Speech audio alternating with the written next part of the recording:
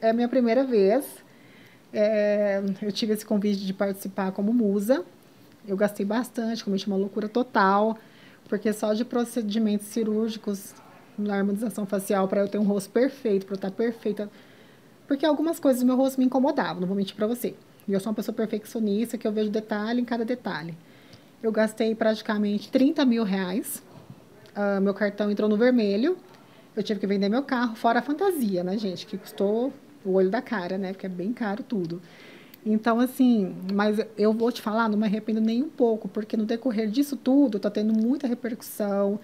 Eu, como hoje eu sou influenciadora digital, tá aparecendo várias oportunidades em redes sociais, como trabalhos publicitários, né, para me fazer divulgação, e eu estou ganhando dinheiro com isso.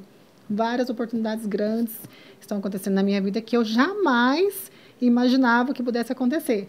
Tava, tava assim, na minha cabeça, era um pouco impossível, entendeu? Mas é, essa repercussão do carnaval tá marav maravilhosa para mim, então eu não tenho nem o que falar. Eu tô um pouco nervosa hoje, viu, gente? Porque é a minha primeira vez.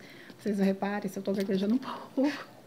Porque é a minha primeira vez na avenida, eu vou dar o meu máximo, o meu tudo, o meu sangue ali para fazer bonito, trazer alegria para as pessoas, o sorriso, o enredo.